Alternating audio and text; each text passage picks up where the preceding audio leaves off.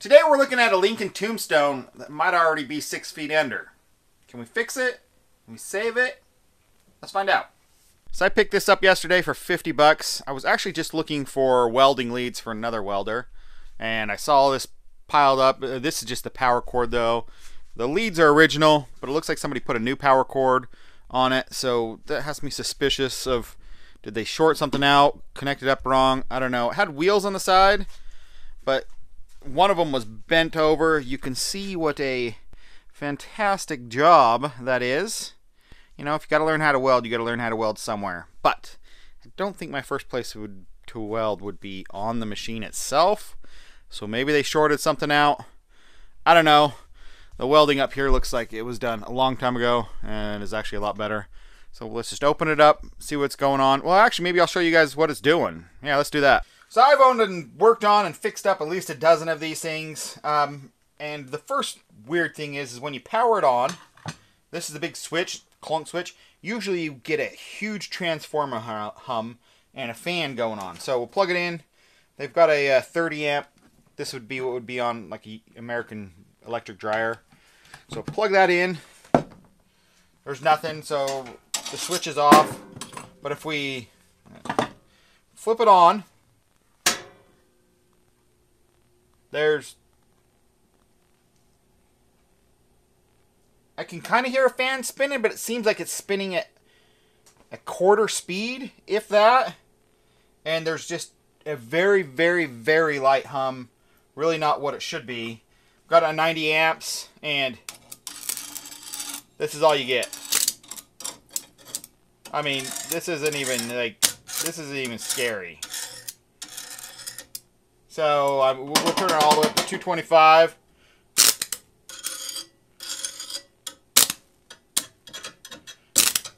Uh, we're really getting nothing. I'm not getting a great ground between my pieces, but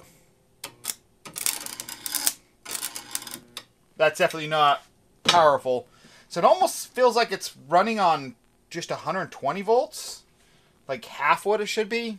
I don't know. We've gotta we gotta open it up. So this one is probably these have been the same since the 60s or something. Sometime in the 60s, I could be a little bit off. They only had they only went up to 180 amps, and sometimes late 60s, 70s, something.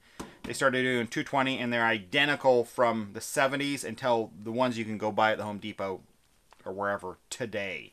Um, the uh, way I kind of usually tell off the bat the age is if they're usually in the 80s and 90s. These little things are actually like uh, plastic plugs. They were white, and I think they went to black plastic plugs in the 2000s or something. So this is probably in the 70s. I could probably look at the date and see. There's a date code. This is 507, so that would be um, the seventh month and five. It could be 75 or 85. I'm going to assume 75. So 1975, seventh month.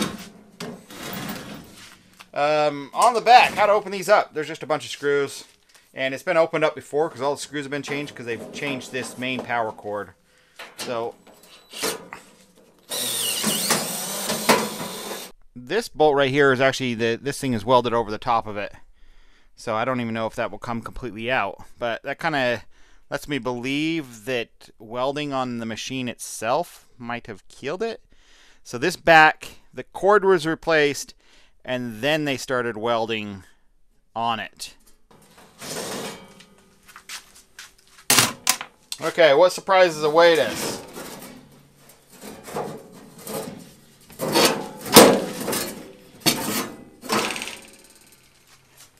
And looks like a typical Lincoln welder, like they all look.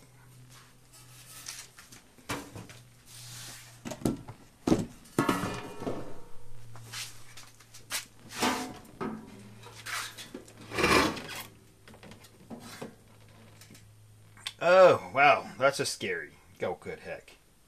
Okay, if you know anything about electrical wiring, this is going to scare you because this is just bad. Um, so the switch right here is supposed to run your full 240 volts through. So we have a green and the black as our power wires. And the white wire over here is just connected to the frame. Look at this. Is it? Can't believe I plugged this thing in. This thing is dangerous. And let's see if I can zoom you guys in. Let's see if that helps. Do you guys see that? Okay. I'm going to give this guy the benefit of the doubt, and maybe he just used his the green wire as one of the hots. Um, so you're going to have hot hot. So this is going to be 120 volts. That's going to be 120 volts. Across them is 240 volts. This is just ground. So usually you use green for that. Um, in this scenario where you just had a three wire, you would use like white and black. So let's open it up and see what he did. No, I should not have given him the benefit of the doubt. He has the green wired correctly on here, white and black. Bad, so bad. So he has a hot. So there's a full 120 volts touching the side of the case. So if you touch this and ground, like maybe you're standing outside, you would be shocked. You'd be electrocuted. Um, actually, I'm glad I didn't actually touch um, one of the electro. I mean, I could have been shocked actually if I touched the case and this metal plate. I actually had this sitting on a metal plate, so my bad. I guess I didn't think about that because the this should all be grounded, but nope. Um, that's bad. That's really bad. The windings all look good. Um, nothing looks overheated, melted.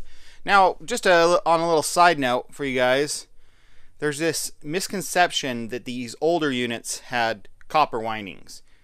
They have always been aluminum, and they're aluminum today, and they were aluminum all the way back as far as they go. There was a welder that came before this. Um, that did have copper wire windings, but th these are all aluminum. Not that that's a bad thing because they never burn up. So I've never seen one of these burn up. So that's good. I think it's just wiring job. That's just ridiculous. So when you change switches, all you're doing is connecting to a different spot. We got a little bit of burning right here, which is probably 90 amps. 100 amps, which is the most commonly used on this machine, generally you're going to use like these four.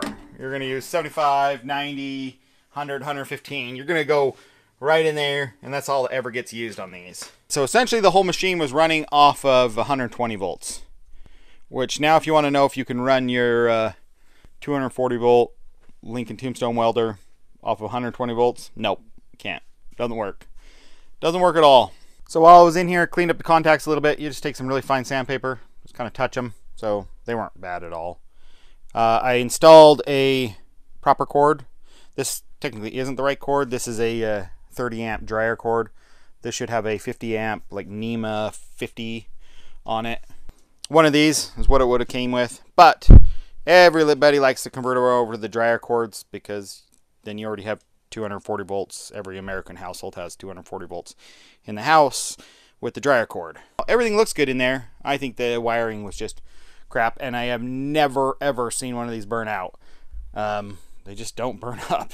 So we'll put it back together with this wrong cord that is might just stay on it, and we'll see if it actually works now. You should hear. I haven't flipped it on yet. I should hear a bong and like a good hum.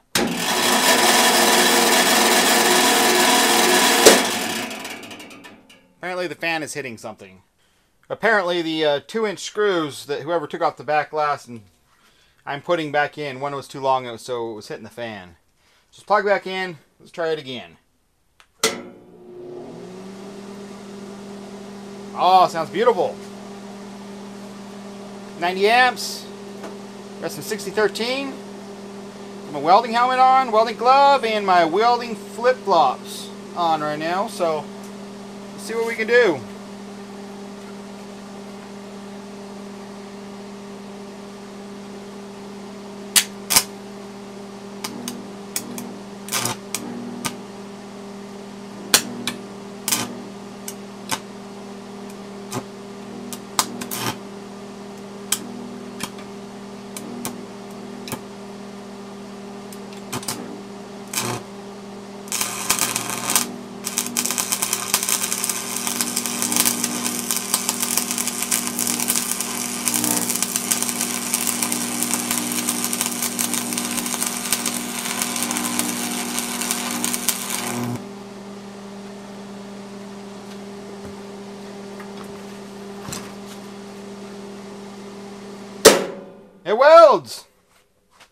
Um, the end of that rod was uh, very crowded, so it took me a minute to get it started, but I should be able to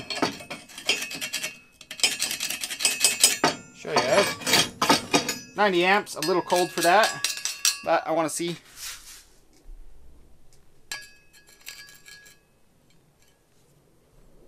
I guess let's crank it up to 115 is quite a lot for that, but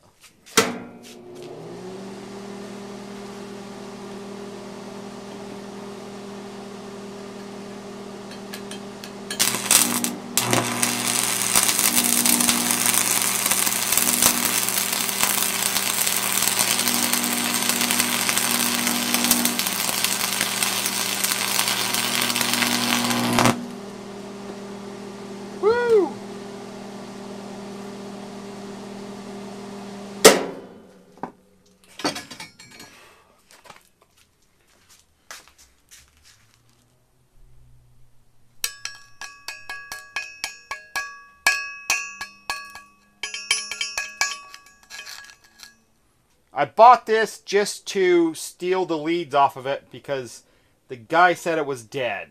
He bought it from somebody else and he was going to fix them or something. He used to fix them, he said, or something else like that. But there's some he thinks the transformer shorted out, so he's just selling it off. And it had extra long leads and extra long power cord. Turns out the leads are the exact same length they come with, they're the original leads. Just the power cord was longer, and the people just wired it wrong. So I'm actually going to clean it up. Might as well just let's just paint it. These are super easy to refurbish do something about the wheel kit. I always like putting a wheel kit on them. They're heavy as snot without wheels. Put a wheel kit, put these on somehow, clean them up, put a patch or something over that. Just strip it down really fast, paint it nice pretty red, and it got another 45 years of life left in it. It'll never die. It got a 100 years life left in it.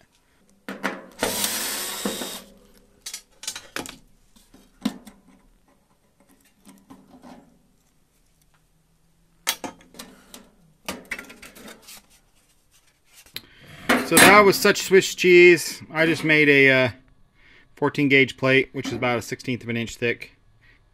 And put that over. Trimmed up the thing a little bit. And we just welded that down to it. Ground the welds down a little bit for this, but um, we'll just leave them for that. And then I bent over the back side of this little plate just a little bit so we can still get the back off, but it adds more rigidity right there. Yeah, time for some paint. Um, threw a little bit of Bondo on some of the bigger little dings. Uh, not perfect, just, well, it was never perfect from the factory. They had little dings and dents all over. But we got the both wheels mounted on, and it deserves a lick of paint to make it look as good as it works. So let's paint it up. I'll, you guys will come back in a second. Throw down some red oxide primer, um, just out of a rattle can over the bare spots, and then just some Rust-Oleum red over the top of it.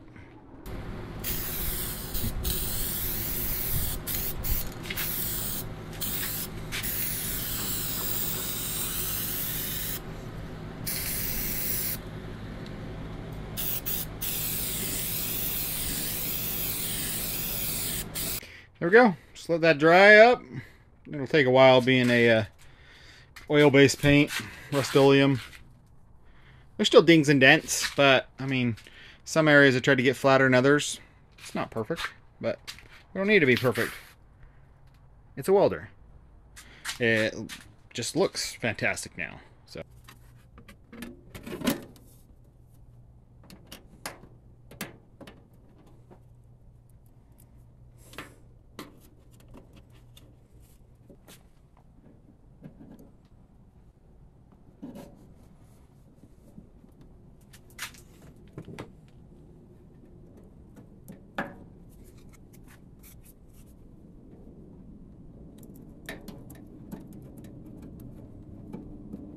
You can see that plate didn't hurt, turn out half bad. Can't even really tell it's not supposed to be there. Covers up all those big old booger welds. I took a minute and cleaned up the electrode holder and dismantled and completely took out the pin and just completely cleaned up the ground clamp. The spring was a little bit loose. Tighten that up. So that works like new now. That's actually, both of them are actually original.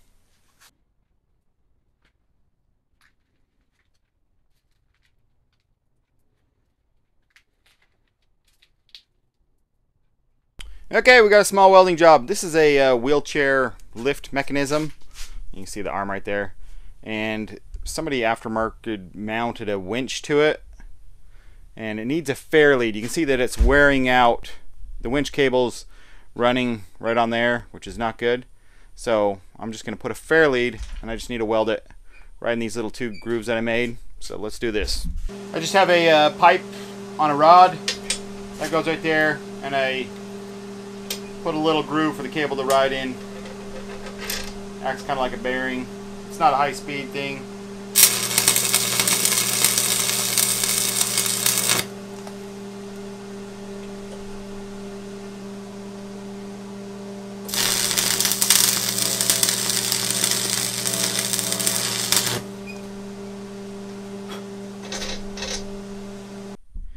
Would that have been easier with MIG? Absolutely should that stop you from going out and just buying a $50 welder? No.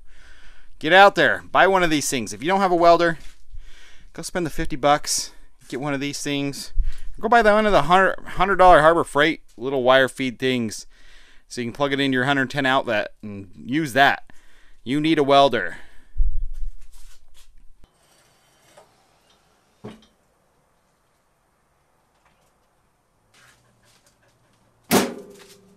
Wheels, nice. Big wheels. That actually makes a big difference.